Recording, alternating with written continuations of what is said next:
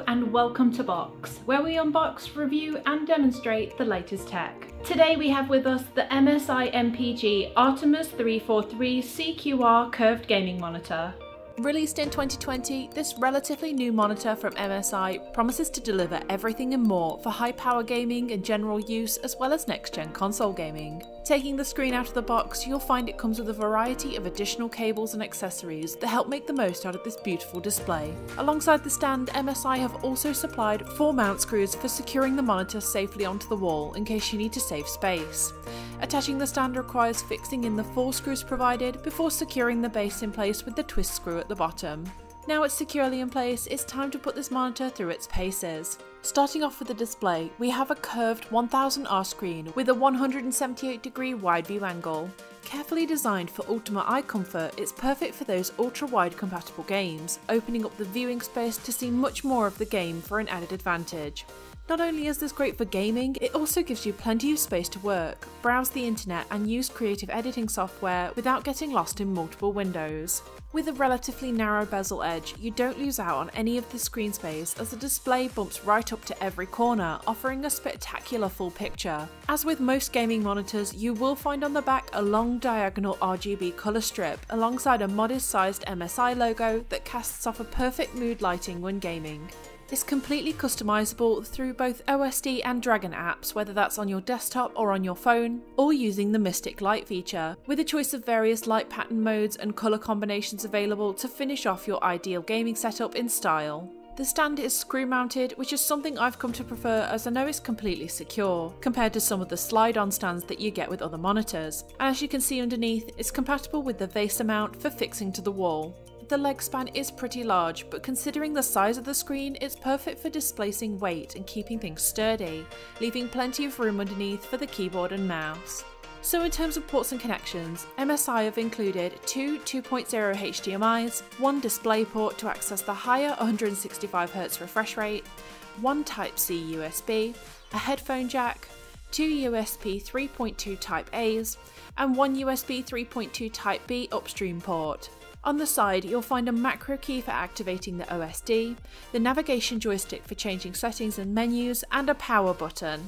Now what I like about the joystick is it has multiple uses, from selecting and navigating functions in the small OSD menu in the bottom right corner, to switching between inputs and quickly turning off features with just a few clicks. It also includes a variety of hotkeys for quick access to game modes and inputs, by moving the joystick in different directions when the OSD is inactive. So this monitor comes with a few handy ways to keep your desk tidy while freeing up space for the more important accessories. Just above the joystick on the right hand side of the monitor, you'll find a subtle push button that releases a slim headset hanger. Now this is a great alternative from using a headset stand, and I like how it simply slides away into the monitor when I'm done. The second accessory is this little mouse bungee. Clipping into a slot just under the right side of the monitor, it easily holds up your mouse wire to keep it out of the way when gaming, and of course it looks much tidier leaving one less wire hanging around the screen. So with this monitor, you get a 34 inch screen at 3440 by 1440 display resolution. It's an ultra wide QHD 21 by 9 display that has a 1000R curvature and a 3000 to 1 contrast ratio. The VA LED panel supports a maximum of 165Hz refresh rate, with that sought after 1 millisecond response time to benefit fast moving games while maintaining that sharp picture quality. When customizing your gaming setup, I find that being able to control every aspect of your display is crucial. So with the MSI OSD app, everything you need to adapt the display to your style of gameplay is right here in one complete package. It has all the general settings you expect from a gaming monitor, from built-in general presets to enabling gameplay aids such as anti-motion blur and night vision to perfectly accommodate the type of game that you're playing. Though it's important to note that certain settings will outrule others, automatically disabling or greying out features if they conflict with each other, such as the MPRT, brightness and fast response time. This is only really down to overall eye comfort when playing certain types of games, so take this into consideration when trying to adapt picture settings to match your gameplay. According to MSI, the peak brightness sits at around 550 nits. Now even though we can't execute a full test here, I did run a few basic tests just to check light bleed and dead pixels, and from what I can see there are no inconsistencies. One of the draws for the ultra-wide monitor is the extended screen space that opens up room when working on other projects. Whether you're just doing some research or editing in creative software, it's nice to have a space for everything all in one screen without needing multiple monitors. A few of the most handy features here are the PIP, PIB and split window modes. So all of these are designed for either breaking the screen down into separate input windows or snapping multiple windows into designed frames for the ultimate organised space and as this is a gaming monitor, you can simultaneously game while managing stream chats, web browsers, or various video content for a streamlined multitasking experience. So after all of that, let's get down to the gaming on this monitor. I was surprised to find a range of games that were already compatible with the 21x9 widescreen ratio. I played a variety of titles to see how it impacted gameplay, and I have to say every single one of them looked fantastic. The extra space combined with the curved display felt more immersive than anything I've ever experienced before. With quick access menus in the bottom right hand side, I could easily alter all of the settings quickly to see the effect in real time. And if I felt the need to turn on any aids such as FreeSync to help the performance, it took no time at all.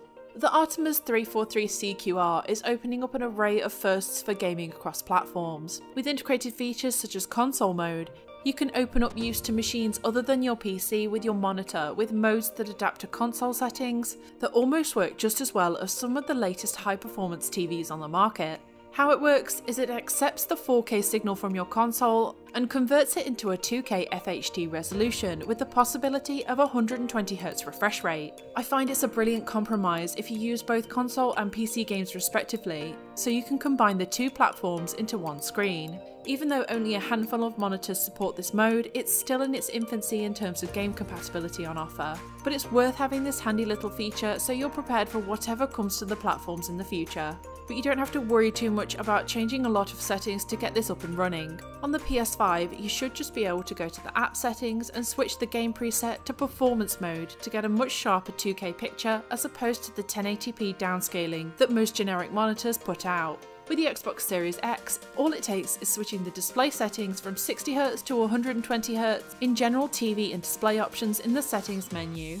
Just bear in mind that the resolution will scale down to 1440p when 120Hz is enabled, and you must disable Allow 4K to prevent auto switching. Title compatibility is much higher for the Xbox Series X, but as with both consoles, so many games still don't support the 21x9 screen ratio, so you will see black borders on either side of the screen with a few titles. However, this is a small sacrifice for getting that brilliant picture control in some of the most popular titles. So after playing with this monitor for a few hours, I can say I'm easily persuaded to the curved monitor style of gameplay. I like how the screen wraps around to enclose me into the game. I don't find myself getting distracted as much by anything around me, and the quality is incredibly sharp even with the super wide view, as I didn't see any distortion. It wasn't uncomfortable to play with thanks to the well thought out curvature, and with the additional low latency and FreeSync premium mode, I didn't experience any distressing motion blur or lag. Even though I did spend a bit of time in the beginning trying to get the aspect ratio settings right, it was completely worth it to see that single full display spanning across the workspace for a beautifully minimalistic setup. So what do you think about the MSI Artymis 343 CQR curved gaming monitor? Let us know in the comments below and if you like this video and are on the lookout for more reviews on the latest tech, don't forget to subscribe to Box for plenty more content. And as always, thanks for watching.